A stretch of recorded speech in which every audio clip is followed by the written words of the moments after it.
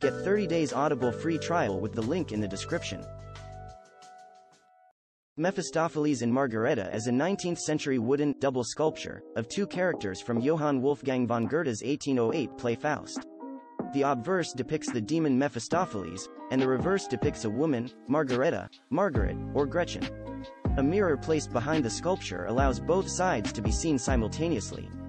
Background The sculpture was acquired in France by the Indian nobleman Mir Tarab Ali Khan, Salar Jung I, in 1876, and now resides in the Salar Jung Museum in Hyderabad, India. The museum is one of the most visited in the country, and claims 1 million visitors annually. The statue reflects the themes of good and evil in Faust. In the play, Faust is frustrated with his life and attempts suicide. He calls for Satan's help, and the demon Mephistopheles, an agent of Satan, responds.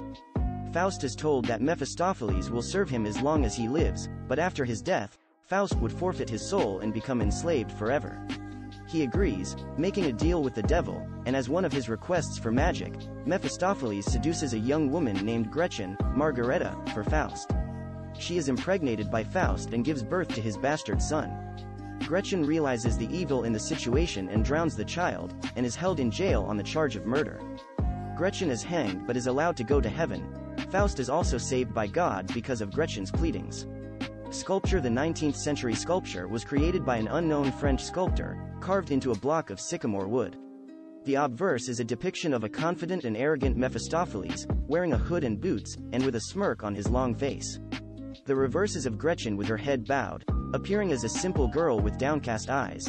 The statue is carved from one single block of wood and is exhibited with a mirror placed behind it, allowing viewers to observe both sides at the same time. The dichotomy of good and evil is emphasized by the innocence of the female figure, a demure woman holding a prayer book in her hand, contrasting with the depiction of evil exemplified by Mephistopheles. See also Mephistopheles in the Arts and Popular Culture Devil in the Arts and Popular Culture references external links video of Mephistopheles and Margaretta sculpture.